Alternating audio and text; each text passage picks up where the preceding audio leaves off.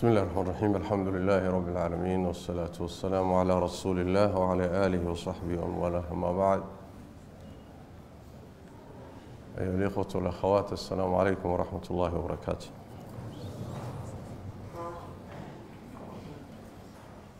إلهي بان ويديساننا تبارك وتعالى في مستهل هذه الكلمة.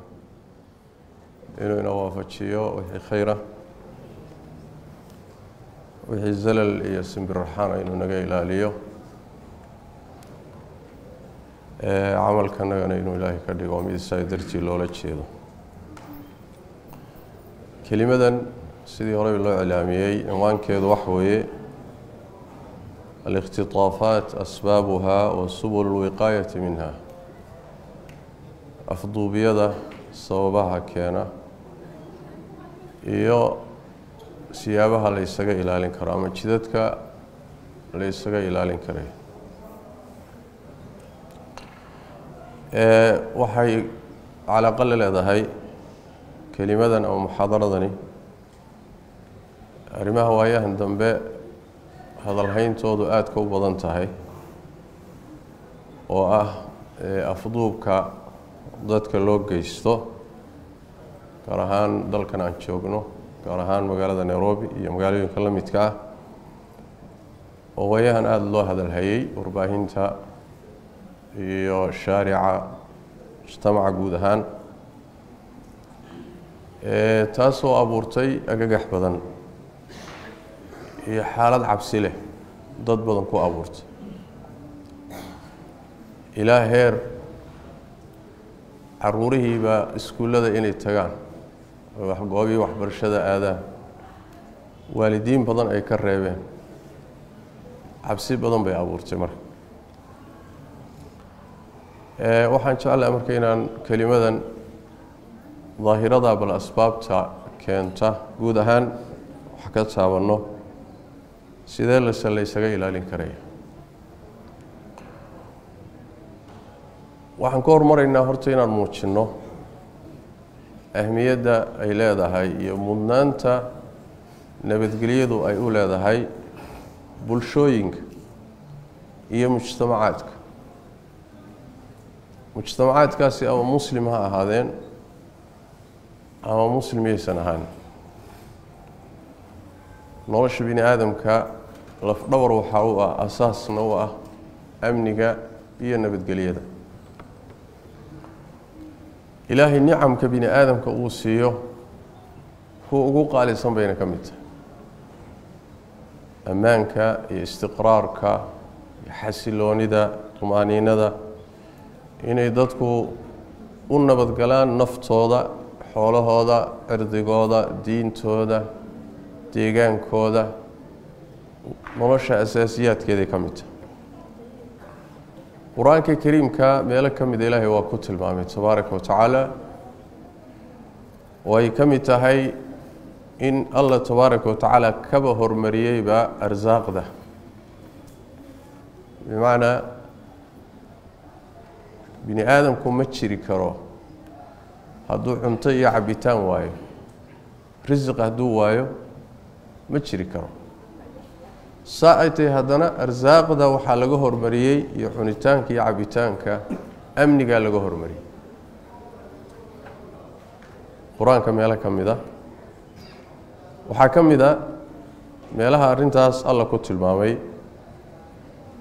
Markuu ilaahay ka warramayey fii suurati اlbaqara qisadii nebiyullaahi ibraahim calayhi wacalaa nabiyina asalaatu wassalaam iyo ducadiisii uu u ducaynayay magaalada maka iyo dadkeeda alla wuxuu yihi tabaaraka watacaala waid qaala ibraahiimu rabbi ijcal hada balada aamina warsuq ahlahu min ahamaraati man aamana minhum biاllahi walyowmi اlaakhir ibraahim wuxuu yihi rabbiyow beledkan waxaad ka dhigtaa mid aamin ah mid dadkiisu ammaan ku helaan waa beled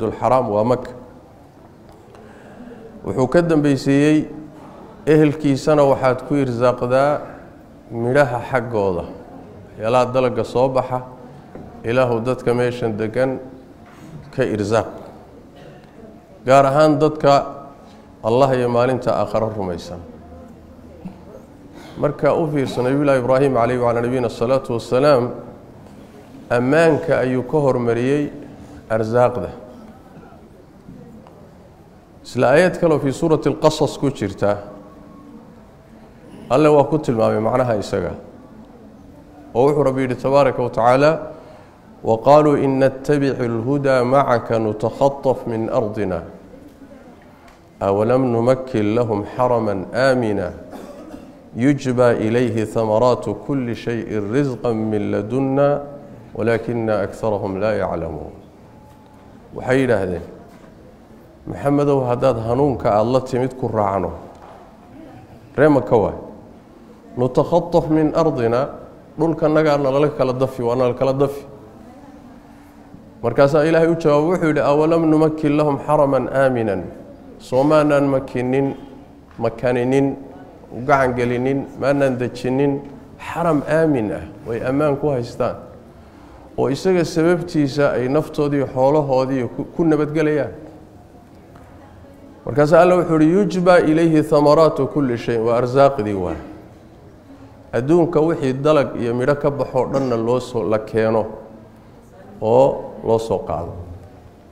Marka ammaankaa la hormariyey arsaaqdaa laga dambeysay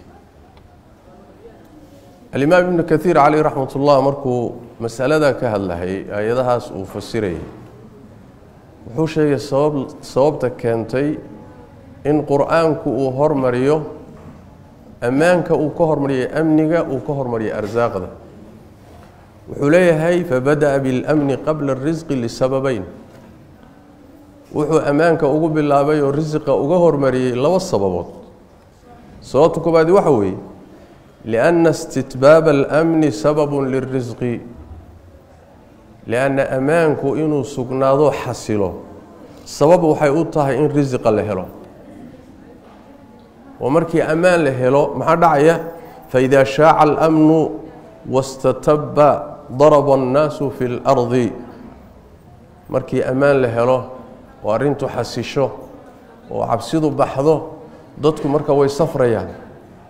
Waa la tijaaraysanayaa arsaaqdii baa la keenayaa marka waxa weeye in la safro oo ganacsi la keeno oo beerihii baxaan oo arsaaqda la keeno oo kasabkaasi yimaado waxaa sabab u ah ammaankaa sabab u ah saas daraaddeed ammaanku isagiyaa sababu arsaaqdii sabab saas waa loo hormariyey waa midda koobaad midda labaad wuxuu yidhi waliannahu laa yatiibu طacaamu walaa yuntafacu binicmati risqin idaa fuqida alamnu. Sababta labaad ee loo hormariyey ammaanka loo hormariyey waxa weeye lianna cunta macaanaan mayso. Risiqna lagu intifaaci maayo markii amniga la waayo ammaanka haddii la waayo cunta kuu dhadhami mayso. Cabitaanna macaansan mayso. Risq nicmadiisuna intifaacsan mayse faman min annaasi axaaطa bihi alkhawfu min kuli makaani watabadada almnu min xayaatihi uma wajada ladata bimashruubin aw matcuum buu yidhi. Yaa waaye ruuxa dadka ka mid ah oo intay cabsi gashay oo nabadgelyadii meesha ka baxday oo noloshiisa ka baxday oo cabsidu hareeraysay asagoo xaaladdaa ku sugan haddana cabitaan iyo cunto macaansaday yaa waaye. Ma kuu dhadhamayso. Haddaad baqayso cuntona kuu dhamid cabitaanna kuu dhadhami maayo. Markaasaa wuxuu bixiyey ishkaal aayad qur'aanka ka mid ah oo aayadahan hadda amniga hormarisay iyadu ka duwanoo iyadu hormarisay risqiga hormarisay. Waa aayadee suuratu ilaaf aladii acamahum min juucin wa aamanahum min khowf iyadu waxay hormarisay allihii ka ammaan yeelay gaajada cabsidana ka aamin yeelay. Aladii acamahum quudiyey min juucin gaajo xaggeed wa aamanahum min khowf marka ammaankiibay dib ka dhigtay risiqii bay hormarisay. Taasuu ka jawaabay. Marka waxuu leeyahay jawaabtu waxa weeye suuraddaasi waxaa lagula hadlayay gaalada. Wuxuu yihi wacinda mukhaatabati haa-ulaa'i yaxsunu lbad-u bilqaliili qabla alkaiiri wabilyasiiri qabla alcadiim. Marka gaalada lala hadlayana waxaa fiican buu yidhi hadalkooda in inta yar looga bilaabo in weyn intaan la gaadhin. Shayga fudud in looga bilaabo ka weyn intaan la gaadhin. Sidaas daraaddeed maadaama gaalo la hadlaya usluubka gaalada loola hadlaa saasa buu leeyahy almuhim aayadahaasi waxay tilmaamayaan ahamiyadda ay leedahay ammaanka iyo nabadgelyadu ay u leedahay mujtamacaadka. Waxaa isaguna tilmaamaya xadiidka nebiga sal alla lay wasalam bukhaari fi ladab almufrad iyo tirmidi ibnaaji soo saareen culimada qaarkood taxsiininayaan nebigu leh sal lay wasalam man asbaxa minkum mucaafa fii jasadihi aaminan fii sirbihi cinda wquutu yowmihi fakaأnama xiizat lahu dunya bixadaafiiriha bixadaafiiriha ruuxii waa bariista isagoo oo jidhkiisu u fayow yahoo caafimaad qaba. Jamaacada iyo mujtamacuu ku dhex nool yahayna ammaan ku haysta. Maalinkaa wuxuu quudan lahaa iyo cuntadiisana haystaa adduunkii oo dhan meeluu jirayba dhammaantii in loo ururiyey baad mooddaa yacni wax ka maqani ma jiro dad caafimaadna haysato quudkaagana haysato ammaanna haysato. Nolosha daruuriyaadkeedu waa intaa. Marka diinta laga tago adduunyada waa intaa waay marka ammaanku wuxuu ka mid yahay asaasiyaadka nolosha laysku waafaqsan yahay. Mar kale qur'aanka kariimku wuxuu isku xidhay oo isku isku lamaaniyey bayna alamni waraqad alcaysh. Waxaa kaloo isku lamaaniyey bayna alkhawfi waljuuc. Gaajada iyo faqriga iyo baahida iyo nabadgelyo daradu way isleeyihiin dheregta iyo barwaaqada iyo nabadgelyaduna way isleeyihiin sidaa waxaa tilmaamaya aayadda allah tabaaraka wa tacaala uu ku tilmaamay fi suurati اnaxli wadaraba allahu maala qaryة kanat aaminaة muطmaئnaة yaأtiiha risquha ragada min kuli makan fakafarat biancum اllah faadaaqaha allahu libaasa aljuuci wاlkhawfi bima kanuu yasnacuun degmuu ilaahay ka sheekeeyey tusaaluu ku bixiyey waxay haysatay ammaan way xasiloonayd risqi waasicoo meel kasta uga imaanayana way haysatay u fiirso ammaanna way haysatay risiq waasicana way haysatay ilaahay nicmooyinkiisii bay ku kufriday markaasaa ammaankiina waxaa looga dhigay cabsi baa loogu bedelay risiqi waasaca ah iyo noloshii wanaagsanaydna waxaa loogu bedelay gaajaa loogu bedelay marka gaajada iyo faqriga iyo baahida iyo nolol xumada iyo ammaan xumaduna way isleeyihiin ammaanka iyo nolosha wanaagsan iyo risiqa waasacana way isleeyihiin saasay isugu lamaansan yihiin. Leanna meeshii laga waayo ammaan laga waayo nololi ma taallo waayo taariikhda markii dib loo raacana xadaaraadka iyo bini aadamka ilbaxnimadiisa iyo noloshiisu waxay hormartaa markii ammaan la helo. Istiqraar amniya markuu dhaco oo mujtamacaadku iyo afraaddu iyo umamku ay xasilaan. Markaasay intaaj yeeshaan wax soo saar yeeshaan markaasay hormariyaan markaasay muxuu ahay nolosha qeybaheeda kale hormartaa. Sidaas wey macnaha waa masalo laysla ogol yahay saas daraaddeed almnu min ahami aldaruuriyaati اlinsaaniya ama daruuraat اlinsaaniya bini aadanka waxyaalaha uusan ka maarmin asaasiyaadka ugu muhiimsanee numberka koobaad soo gelaya waxaa ka mid a muxuu ahay ammaanka ka mid mar kale qur'aanka kariimka ah cajaa'ibtiisay ka mid tahay wuxuuba ku lamaaniyeyba ammaanka towxiidkuuba ku lamaaniyeyba towxiidku soo diinta asaaskeedii ma aha towxiidkii iyo ammaankii baa mar kale la isku lamaaniyey.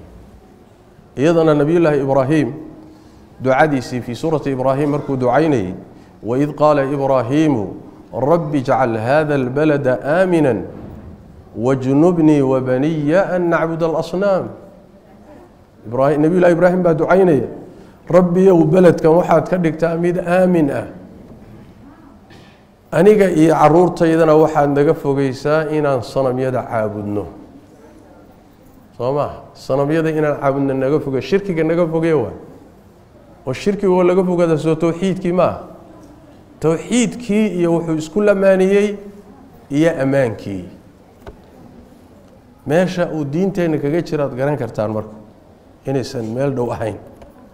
Waxyaalo fara badan oo axkaamta shareecada ka mida markay amniga isqabtaan axkaamta shareecada ammaanka isqabteene layswaafajin kari waayey waa looga tegay amniga dartii baa looga tegaya si aan amniga khalkhal u gelin ayb xadiidkii baa ka mida isaguna macnaha tilmaamaya tirmidi soo saaray keyrkii oo culimada qaar ay leeyihin waa xasan nebigu sal alla alay wasalam markay bishu dhalato oo uu bisha arko dhalashadeeda waa kii ku ducaysan jiray allahuma ahillahu calayna biاlmni waاliimaan waاsalaamati wاlislaam ilaahu bisha waxaad noogu dhalisaa ammaan iyo iimaan.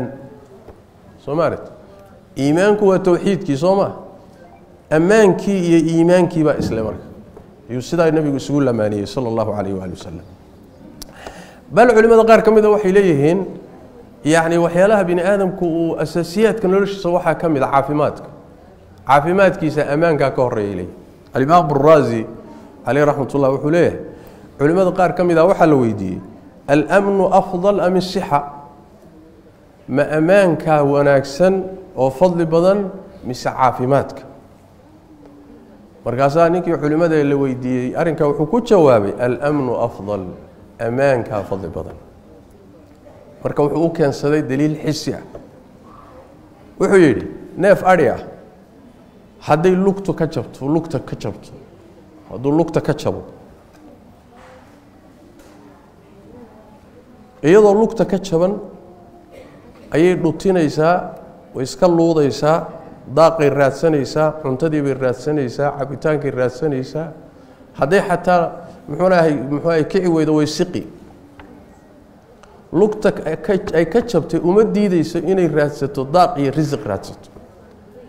Laakiin wuxuu yidhi neefkii adhiga isagoo fayow oon lug ka jabnayn oon balaayo qabin haddii meel lagu xidho agtiisana yey lagu xidho yey ama waraabo lagu xidho.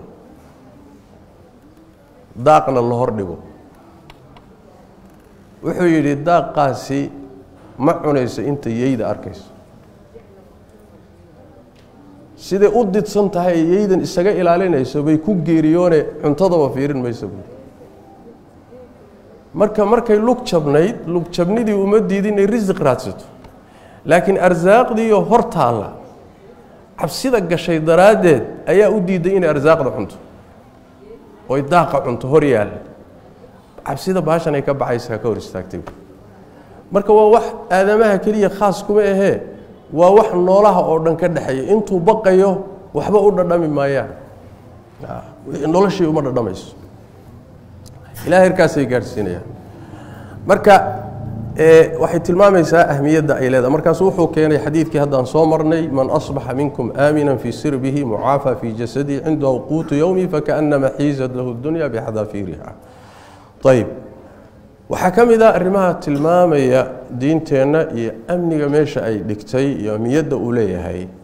Dadka amniga ku ciyaara oo ammaanka mujtamacaadka iyo xasiloonida ku ciyaara أحكام لدجية عقوبات كالدجية وقوة أذك بشرعات كدجس وأن تريد لهين. نحريص لهين. وأمد كتب سورة المائدة. إنما جزاء الذين يحاربون الله ورسوله ويسعون في الأرض فسادا أن يقتلوا أو يصلبوا أو تقطع أيديهم وأرجلهم من خلاف أو ينفوا من الأرض.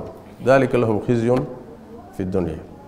Ila akhiri اlaaya dadkaas dhulka fasaadinaya ilaahay rasuulkiisa la dagaalamaya dhulka fasaadinaya fasaadka ka shaqaynaya alla wuxuu ihi tabaaraka watacaala abaalkoodu waa in la laayo ama la salbiyo la daldalo ama gacmahooda iyo lugahooda si isdhaafa loo gooyo ama dhulka laga masaafuriyo. Ma tartiibbaa mise imaamka khiyaar u laho xaaladaha kala dooran kara. Waa masalo khilaaf fiqiya waaye culimadu ku kala duwan yihiin laakiin hadda geli mayno laakiin muhimaddu waxa weeyaan yacni waxa loo yaqaana xiraabada. Xukunka xiraabada loo dejiyey dadka qutaacu turuqda ah. Dadka jidgooyada sameeya ee ammaanka khalkhalgeliya magaalooyin ha noqoto baadiye ha noqodo dadkii ayba mari layihiin noloshii kala socon la-da oo ammaanka khalkhal gelinayaa loogu talagalay kuwaasa ayaddu ka hadlaysa. Nebiguna sala allahu calayh waalihi wasalam kamaa fi saxiixayn xadiidka anas uu warinayo dhacdo waxaa dhacday waqtigii nebiga sal alla alay wasalam niman reer cukuli ah ayaa nebiga u yimi sal alla alay wasalam oo kooxa way islaameen marka. Magaalada madiine yimaadeen way islaameen. Markay magaalada waxoogaa ay joogeen ayay ku xanuunsadeen. Magaaladii bay la yar qabsan waayeen waxaan la yidhaahdo way ku daltabyoodeen ama cudurgaltiyeed baa ku dhacay. Yani meesha markaadan garanaynin calooshaa laga qabtay way ku xanuunsadeen. Markay xanuunsadeen buu nebigu wuxuu amray sal alla alay faamarahum an ya-tuu ibila sadaqa wuxuu ku yidhi geel waxaa jira zaka ah oo magaalada korkeeda daaqaya geelaa u taga. Geelaa isaga ah caanihiisana cabba kaadidiisana cabba. Yani waa la daaweynaya kaadidiisana soo cabba caanahana soo cabba buu nebigu ku yuri sal lay slam maadaama magaalada ku xanuunsateen.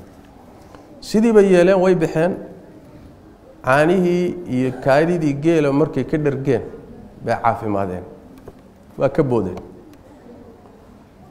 Markay caafimaadeen ayay marka waxay isku dareen inay diintiina ka baxaan. Ninkii geel jirkaah ee geela la joogayna ay dilaan. Geeliina ay dhacaan. Soomaali bay ahaayeen talo geel dhacaas geeliina waa qaadeen. Soomaalin baa geel kala qaaday waa baxeen marka. Nebigu sal lay slm warkii baa soo gaadhay markiiba ciidan buu ka daba diray rag orod badanoo waxaa jira. Salawat bnu akwacan in la dhihi jirayoo fardaha ka dheereyn jiro saxaabada ka mid aha adugu raggii iyagoo geeli meel sii wadaa laga daba tegey waa la soo qabtay waa la keenay. Soo qaqabtay nebigaa loo keenay sal lay slm geeliina waa laga soo dhiciyey. Nebigu sal lla lay wasalam marka wuxuu ciqaabay cuquub cuquubo wuxuu mariyey. Inta la garanaya nebigu cid uu mariyey aanay jirin qaaca aydiyahum wa lugaha iyo gacmuhu ka jaray wa samala acyunahum indhahana wuu ka saaray. Riwaaya kale wa samara masaamiir kulul buu indhaha kaga gubay. Uma lam yaxsimhum xataa maatuu ruuxa marka nabar gaadho ama wax la gaadhsiiyo dhiig baxayo waa la gubaa si dhiig u istaago. Waa la daayey ilaa ay geeriyoodeen meeshii ku dhinteen sababtu wax weeye dad waxlayn keliya ku gaabsaday sidaa looma ciqaabin. Dad riddo keliya la yimidna sidaa looma ciqaabin. Laakiin mushkiladay sameeyeen wax weeyaan waxay isku dareen intaasoo dembi oy ka mid tahay dil iyo diintay ka baxeen iyo amnigoy khalkhalgeliyeen markaasuu nebigu sal lla alay wasalam sidaa ula dhaqay sidaas daraaddeed axkaamta adag waxaa looga dejinayaa halista iyo khatarta ay leedahay in mujtamacaadka iyo bulshooyinka amnigooda la khalkhalgeliyo. Diinteennu meel adag bay ka istaagtay.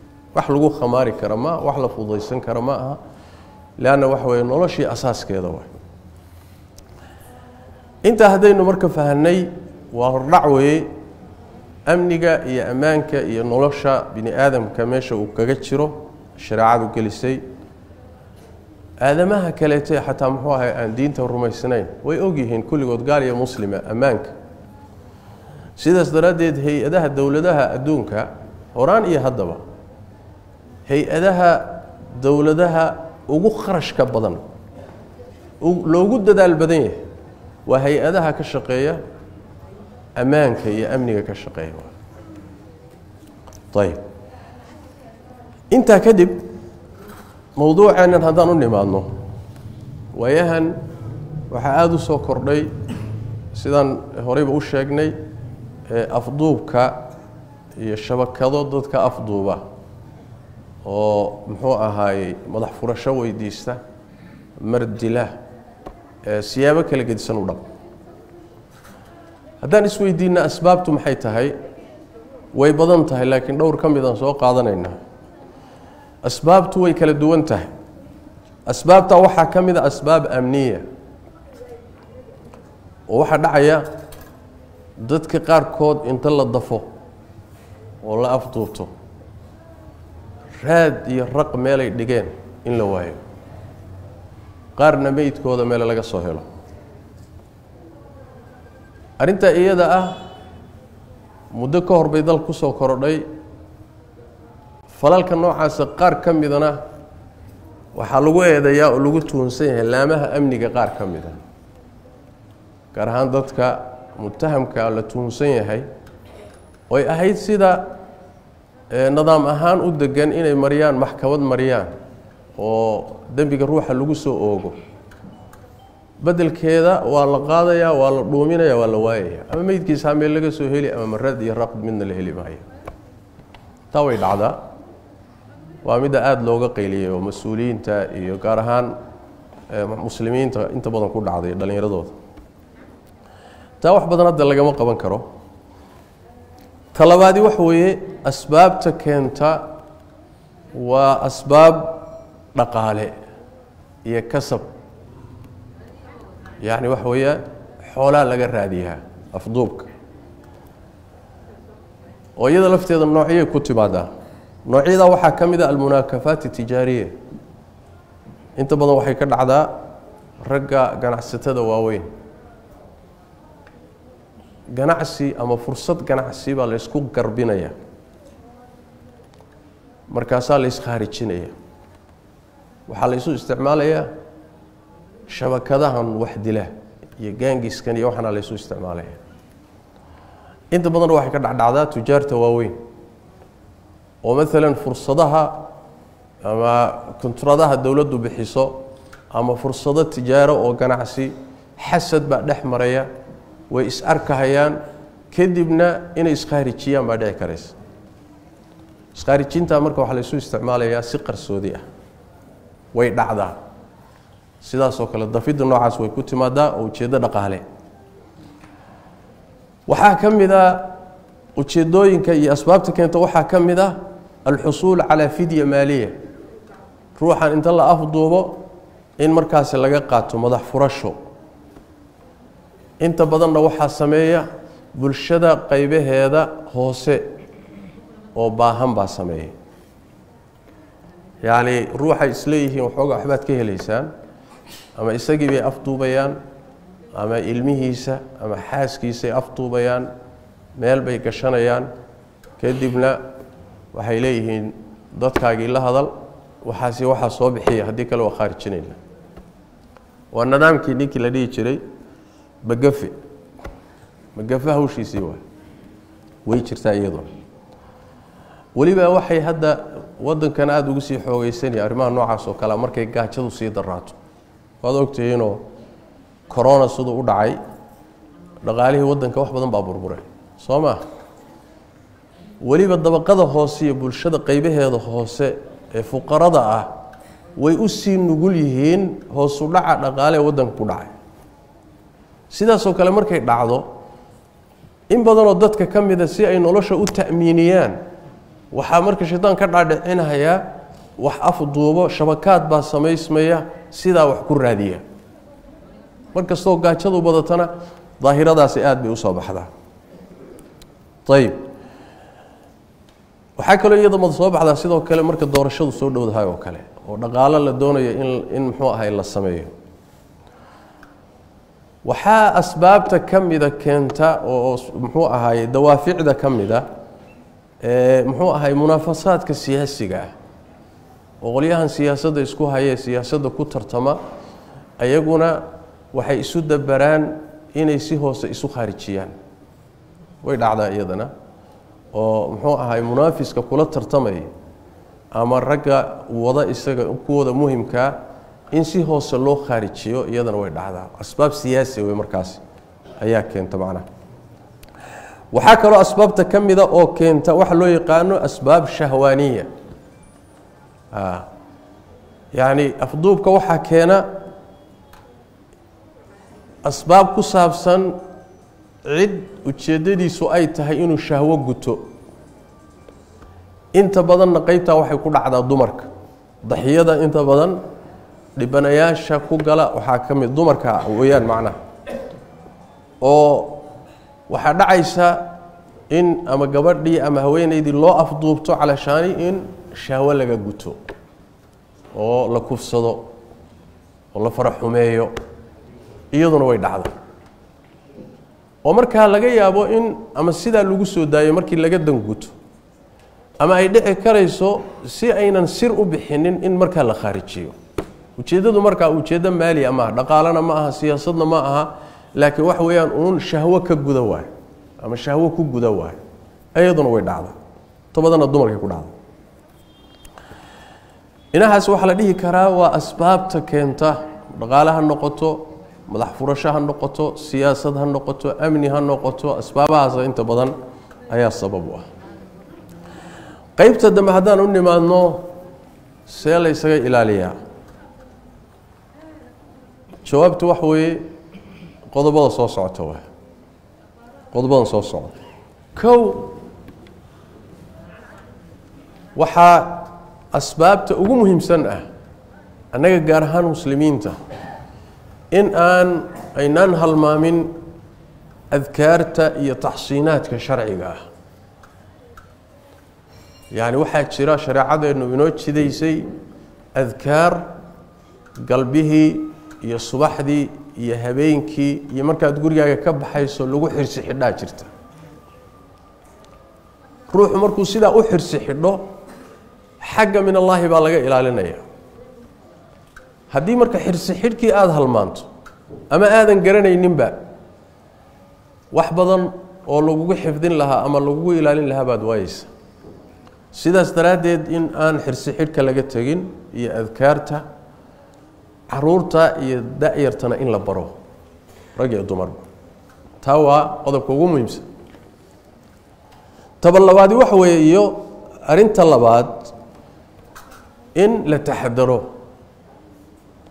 oo taxadar la qaato waa ka qur'aanku inoo sheegay mawaadinta cabsida wakhuduu xidrakum taxadarkiina qaata taxadara marka dadku inay wacyi u leeyihiin makhaatirtaasoo kale markay jirto inay taxadarkooda yeeshaan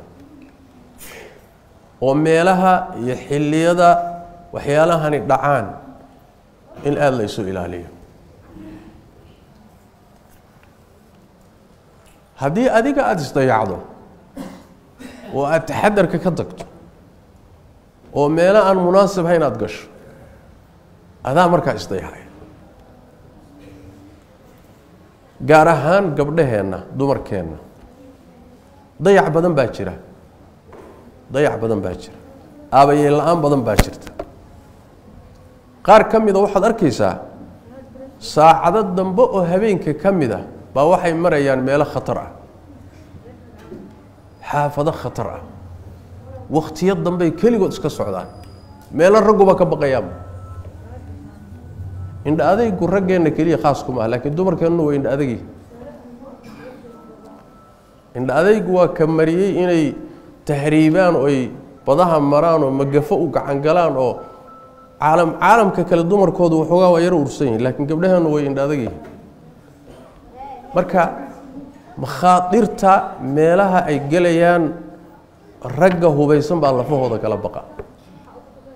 Xaafado waxaa jira nairobi ku yaalla oo lamagalaay ah oo muxuu ahaay isku raran ah oo markaad ragtood dhex maraysa aada baqayso. Gabadh soomaaliyadoo qurux badan oo muxuu ahaay xaragoonaysaaba dhex socotaba baladu sidhe gabadha haddii la dafo maxaad kula yaabi marka marka waxa weeye dayac baa jira. Xaafadaha ha noqoto xilliyada qaarkood ha noqoto gabdhaheennu waxaynan xasaasiyad ka qabin oo iska raacayaan tagaasi aynan garanaynin wax wada. Way iska raacayaan. Biki biki waxay raacaysaa oy u raacaysaa meelo fogfogoo dadka ka dhexbaxsan. Keli nin keliya wata. Tagsi ayna garanayn bay keligeed fuulaysaa markaasay meel fogu raacaysa soo inuu jiiro la gala maaha yaa ka celinaya saa ay tahay waa gabadh soomaaliyeed oo qurux u dhalatay. Marka labaadna meeka ab barsatay oo isqurxisay. Marka saddexaadna iscadrisay oo udgeysa waay. Soo ma? Marka in jiiro lala galo soo iyadu sabab ma ah. Iyadaa sabab u ah. Raggan ay saaran tahay baabuurka la saaran tahay ama bikibikida la saaran tahay waa rag shahwa haysa waaye.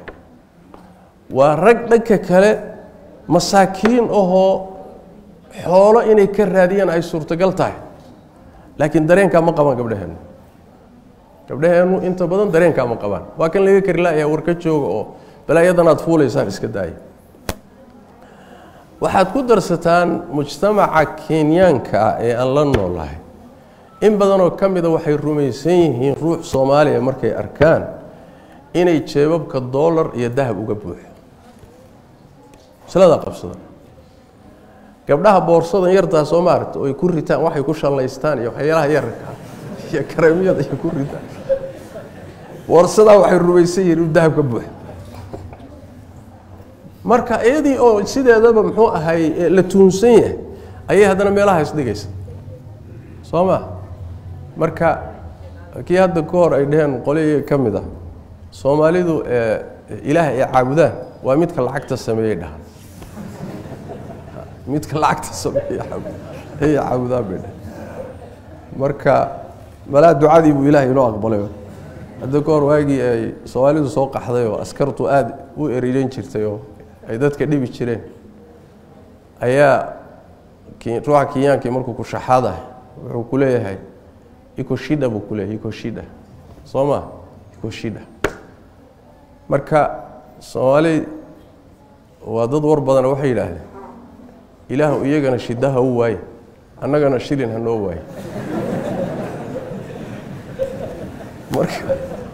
Marka balaa ducadii baa laynoo aqbalay almuhim waxaan ka soo wadaa ujeeddadaydu tahay gabdhaha soomaaliyeedna inay fahmaan loo baahan yahay meelaha makhaatirta iyo xilliyada ay gelayaan iyo tagsiyaday raacayaan iyo bikibikida ay raacayaan iyo waxyaalahaasoo dhan waa dayac. Gabdhaheennu ay ku jiraan oo ay adag tahay in laga karo. Waana arrin wacyigeli badan u baahan. Waddankan waa la gaajaysan yahay waana halis waay. Waxaa ka mid a qodobada loo baahan yahay in la qaato markay xaaladahan oo kale soo baxaan in qeyb laga noqdo sidii loola dagaalami lahaa shabakaadka noocaas oo kale ah ee dadka dhibaatada u geysanaya wax afduubaya madax furashada weydiisanaya ama dadkaba laynaya sidii xididada loogu seebi lahaa.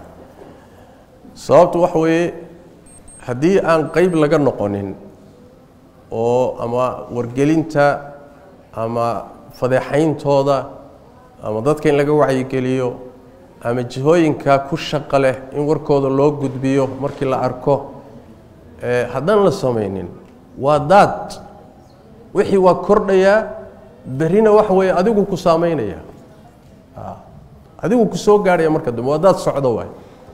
Wixii marka waxay u baadan tahay bulshadu inay yeerato wacyi amniyaho waxyaalaha noocaas oo kale ah keliya inaan lagu hadlayninuun ani ma khusaysee haddiiba aada muxuu ahay wax ka ogaatay inaan qeyb ka noqonno la dagaalankooda iyo tirtiridooda waxaa laga yaabaa mujtamac muslimaynu nahay inay inaga dhadhacsan tahay muxuu ahaayey waxyaalaha noocaas oo kaleeto ah in madaxda iyo dowladda iyo lagala tacaawuno waxa noocaasa baabi'intiisu in ayba diinteenna halis gelinayso. Saxna maaha arrintaa iyada. Ammaanku muslimka iyo gaalkaba waa la wada leeyahay waana loo wada baahan yahay sidaan hadda ka soo hadal. Maadaama ay sidaas tahay ciddii dhibaato u geysanaysa waa in si wada jira looga hortago waay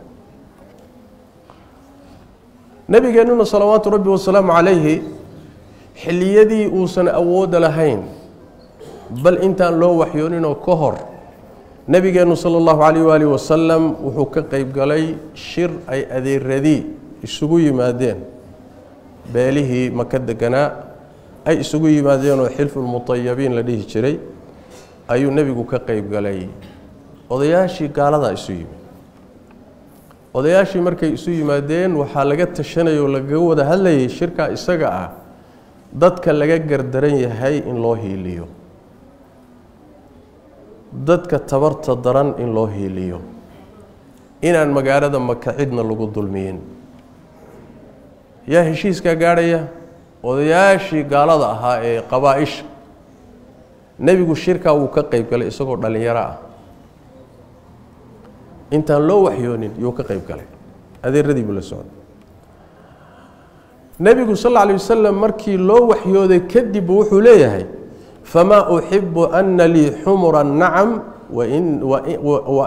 wainii ankuhuhu ballankii waagaa odayaasha gaaladii ay galeen hadda inaan jebiyo oo xoolo qaaliya ku bedasho ma jecli buu nebigu sal lla wasalam bimacnaa wax weeyaan lama fiirinayo shaygani maadaama uu maslaxo sharciga xaqiijinayo. Waxaa la fiirinayaa masaalixda uu xaqiijinayaa la fiirinayaa laakiin yaa fulinaya lama fiiriyo. Ma garat yaa dejiyey oo gaadhay lama fiiriyo. Laakiin maslaxo sharciguu xaqiijinaya amnigeedu baahantuu xaqiijinaya waa inaad marka qeyb ka noqoto waay sidii adu ilaalin lahay. Ibnulqayim caleyh raxmat ullah kitaabkiisa zaadulmacaadka ee qisadii xadiiat waxaan u jeeda xadiid sulxi lxudaybiya heshiiskii xudaybiya nebigu sal alay wasalam uu la galay quraysh sannadkii lixaad ee hijriga. Waa tii nebiga sal alay wasalam siduu u socday markuu magaalada maka kor tegay isagoo cumro u socda hashiisii ay fadhiisatay socon weyday markay hashii socon weyday oo la canaantay oo si walba la oo kici weyday oo horey u socon weyday ayaa dadkii waxay yidhaahdeen oo inta si kasta loo canaantay kici weyday ayaa waxay yidhaahdeen khala'ati alqaswa. Hashii nebigu sal alla alay wasalam way daashay. Qalaada waxaa la yidhahdaa neefku markuu intuu iska fadhiisto uu muxuu ahay kici kari waayo socon kari waayo markaasaa nebigu sal lla alay waslam wuxuu yihi maa khala'at alqaswa wamaa daaka laha bikhuluq buu nebigu sal alay wasalam mana ayna daalin mana aynan fadhiisanine dabeecadna umaba ah inay daashee walaakin xabasaha xaabisulfiil buu nebigu sal alay wasalam laakiin allihii maroodiga xaramka ka qabtay ayaa iyadana celiyey oo qabtay buu nebigu yuri sal lla alay wasalam markaasaa rasuulku wuxu uhi sal lla alay wasalam waladii nafsii biyadihi laa yas'aluunii khudatan yucadimuuna fiiha xurumaati illaah ilaa acطaytuhum iyaaha ilaahayga naftaydu gacantiisa ku jirtaan ku dhaartay nimankaa qureysheedee gaalada ah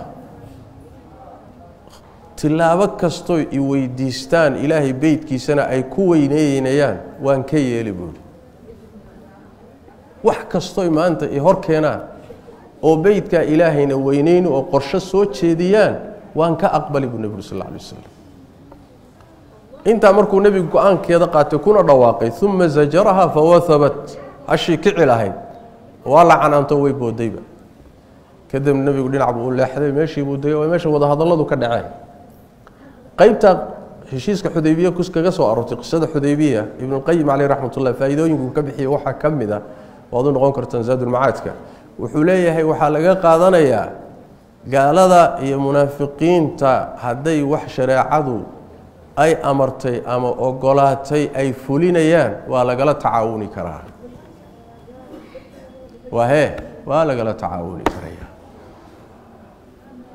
gaar ahaan markay muslimiintu ayna tabar lahayn oo awood ayagu waxyaalaha ay ku fulayaan aysan lahayn ciddii fulinaysa oo xaqiijinaysa inay ku garab siiyaan waa waajib markaa sharciya waay leanna waa maslaxadoodii waay saas daraaddeed ujeeddadu wax weeyaan in aanaan noqonin muxuu ahaye mushkiladu inay nagu dul socoto annagana muxuu ahaye aan ka noqonno mutafarijiin aynaan ka noqonin. Waxaa kaleeto iyadana qodob kale ah qodobka afraad ah in aada iyo aada laysaga ilaaliyo waxa la yidhaahdo madax furasho in la bixiyo. Haddayba na qabsato ama hadday ku qabsatoba madax furashaha bixina way adag tahay qodobkaasi oo ilmahaagiioo la haysto ama islaantaadiioo la haysto madax furashaha ka bixinin waa war adag soo maa go'aan adag. Laakiin waxaad ogaataan maalinka ay dhacdo in madax furasho la qaato oo shabakadihii dhibaatada wade aynu madax furasho siino kulligeen waxaynu halis ugu jirnaa in layna afduubto. Irid waxaynu isku furnay aan xidhmaynin innagoo dhanna dahab baan wada noqonaynaa.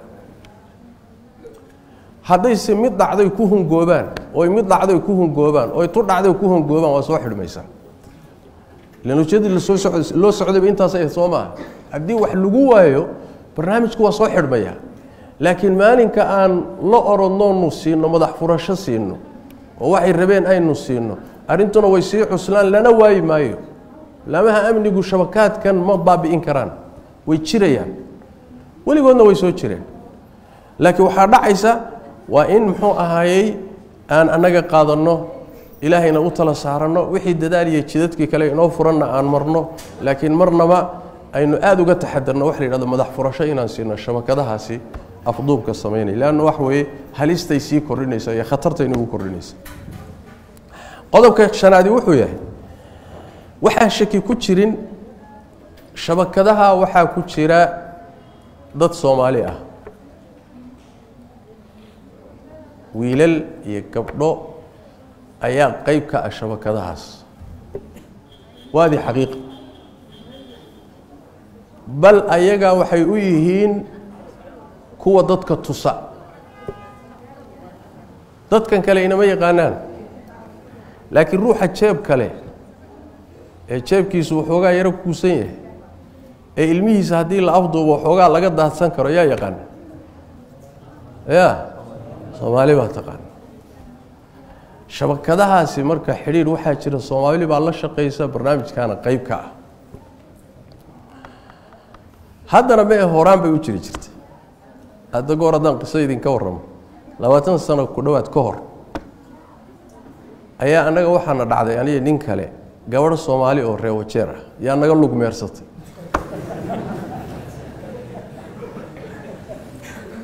marka oo ganacsadaa baan guri baan kiraysan rabnay oo aan u rabnay looj ahaan baan u rabnay hoteel ahaan inaan u kiraysan marka niman baa intay gurigii dukumiinti beenbeena u samaysteen. Ayaa waxay ihi gurigan innagaa iskale dukumiinti beenbeenana way samaysteen kibaandhooyin waafaqsan dukumiintiga oo iyaguna feegana way soo samaysteen. Looyar feegana townkay ku samaysteen shabakadii baan annaga galay. Shabakada marka waxaa hormuud oo annaga na kalsooni geliyey gabadh soomaaliya oo say u labisan tahay haddaad aragto weliga aadan dhahaynba tanaa balaayadan ka shaqaysaba. Ayaa la socota. Marka annaga waxaa naga dhaadhacday masaakiin baa iska ahayne gabadh soomaaliyeed baa intay idin shir qoosho. Bay niman idin shirqooli marnaba naguma soo dhicin bas heshiiskii baa la saxiixayaa baa la yidhi lacagta soo qaada looyarkii townkaana lagu ballamiyey markaan meeshii tagnay lacagtiina aan wadno. Ayaa ile heshiis baa lahaaye lacagtiinana laga qaaday unbaa dhinacyaha laga dusay. Annagoo meel bannaan taageer baan is arag. Ami galabnimaa way qor casargaabada waa nairobi. Markaasaa waxaan bilownay inaan lafaha naga lafa ka dho war lacag iyo xoolo ma jiraane ma lafaheenayaa layna diline ina carrisi carar baan galay. Barnaamijkaa waxaa ka shaqaysay oo isku xidhiidhay gabadh soomaali bay ahayd waa labaatan sano taqriiban ka hor waay. Way ku dhowdahay marka gabdho soomaaliyeed baa qeyb ka ah wiilal soomaaliyeed baa qeyb ka ah barnaamijdan iyo shabakadahan qeyb ka ah. Waxaan ula jeedaa marka macluumadaa idiin siinayaa soomaali way hagu kalsoonaanina. Ilaan inaga moogtahay soomaalinima aan isaga kalsoonanaaba obakaaba gabadha quruxda badan inaga isaga kalsoonidaan iska siinayba. Labiskeeda iyo quruxdeeda soomaali weeye iyo waxaana isaga kalsoonaan marka taa waa mid. Midda labaad weeye dadka shabakadaha ku jira ee soomaalida ah ee aynu naqaano iyagana waa inaynaan qarinin. Oo inaan hoosta gashanin leanna soomaalinimadooda waxba inugu biirin mayso ehelnimadooduna waxba inugu biirin mayso soo maha waa mufsidiin mujrimiina waaye waxba marka ugu tari maayaan haddiise laakiin hoosta aan gashanno oo aan qarsanno innaga inugu soo noqoni nebigana xadiiskiisii waa kii ahaa saxiix muslimka ku yaallay lacana allahu man aawaa muxdian ruux wa fasaadinahayo wax kharibaya ninka hoosta gashaday oo gadaal marsaday lacnad ilaahay ku dhaca waad ogeydeen wixii inaga qabsaday muxuu ahay dhallinyaradii suberpowerka ee halkan islii soo garan maysaan? Wixii inaga qabsaday waad ogeydeen. Waxaana wax kale ma ahayn wiilal yarin oo dhallinyaroy ahaayeenoo wax laga qaban karee laakiin waalidiintii dhalay iyo qaraabadoodii baaba laga hoos bixin kari waayeba sleeps community culimadii masaajidda ka hadla si kasta ha la yeelo dowladda ha loo gudbiya ha la qaqabto ha la xidhxidho. Markii la xidhxidho la qaqabto qabiilkii baa u gurman odayaashii baa ordi aabbihii iyo qaraabadii baa iskaashan dhaqaalaa la ururin hal milyan baa la geynayaa maxkamadda ama la geynaya stationka waaba la soo daynayaaba. Maalinta xigtana meeshii buu taagan yaho dad ku dilaya ya oo mindidii iyo tooridii la taagan yahay. Odaygii dhalay iyo islaantii dhashay ma aqaano ma waxaanuu soo dhacay wax ka qayb ka leeyihiin oo la qaybsanayaan garan mayse mise waalidnimo unbaa haysa meeshii unbuu ka miisaya. Si walba haddii la yidhi waa la keri waayo war caruurtan laba mid yeela ama idinku wax ka qabto oo mushkiladan ka dhex saara masaafuriya si uu yeela ama xabsiga ha ku tarbiya qaateena xabsiga way ku hagaagi oo bini aadanka hallaabay baa xabsiyada ku hagaagay xabsiga u daayay dhibaatadooda si looga badbaado. Nag waa la kari waay. Waalidkii waxay soo istaageen ilmahayga waa la masabidayaa dhibaataba ma qababa. Markii dambe waa ka kooxuhu ku soo baxeenoo markii qaar meesha lagu laayay kala carar baa ka dhacday. Muqdisho ka tuur hargeysa ka tuur boosaaso ka tuur kale eri. Marka waa khalad dadka khariban ee wax kharibaya ee innaga inaga dhashay inaan hoosta gashanno ama gadaal marsanno ama macluumaadka ku saabsan wax ka qabashadooda aynu qarqarsannona waa qalad. inaynu iska aaminnana waa qalad.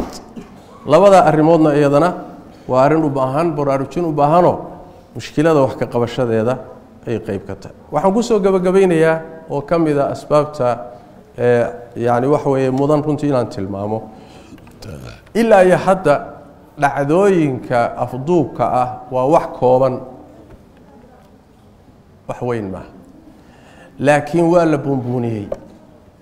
Buunbuunintaa iyo kabadbadintaasina waxay leedahay cabsigelin badan bay abuureysaa khalkhal bay abuurtay. Heer waxay gaadhay in la yidhaahdo caruurtii iskuullada ha laga reebo dugsiyada ha laga reebo balaayaa dhacday muxuu ahay waalidiinta yidhahda carruurtii waa nalaga afduubahayaa waa dhacdooyin kooban waaye marka irjaafka iyo kabadbadinta masaa-isha amniga ku saabsan ma fiicna oo nolosha inay khalkhal gasho ma aha. Ayadoo la taxadarayo haddana maca daalika waxyaala waa dhacdooyin kooban waaye ilaa heer waxaa la gaadhay xataa carruurta qaar ka mid ahoo intay waalidkood isku yara xanaaqeen malaha maalmo yaro dhuuntay oo xaafadda ka yara dhuuntay oo ka xanaaqay in la yidhi waa la afdubay. Marka xoogaa kiisaska qiyaasta ay dhan yihiin. Bilmunaasaba intayna hadda innagayna soo gaadhin. Kenyaanka kale markaad haddaad la socoto waddanka akhbaartiisa kenyaanka kale aada ugu badan tahay. Dhacdooyinkaasi waaba marka laga warramayo waad yaabaysaa marka qiyaasta ay yihiin wax weyn weli ma ah mujtamacu siduu u badan yahay dalku u ballaadhan yahay iyo waxyaalaha hadda laga sheekaynayo kees iyo laba kees saddex kees iyo wax hadda khalkhal nolosha la geliya ma ahee irjaaf iyo cabsi badan iyo rucbi iyo argagax iyo taana insha allahu tacaala ha laga taxadaro cabsida yaan zaa'id laga dhigin oo yaan laga badbadinin. Qiyaasteeda ha lagu koobo insha allahu tacaala wixii taxadarana ha la qaato biidn illahi tabaaraka wa tacaala. Intaas ayaan insha allahu tacaala kelimadii ku soo gabagabaynaya biidn illahi tacaala. Ahayd afduubka asbaabtiisa iyo maxaa xal noqon karaya ilaahay baan weydiisanaynaa tabaaraka wa tacaala wixii naga khaldamay inuu insha allahu tacaala noo dhaafo sawaabkana ajirkiisana siiyo. Habeen dambe insha allahu tacaala waxaan u ballansannahay kelimo kale oo ku saabsan gudniinka gabdhaha. Waa xiisad puntland ka taagan oon doonayaa inaan wax ka idhaahdo in sha allahu tacaala. Asalaamu calaykum waraxmat ullahi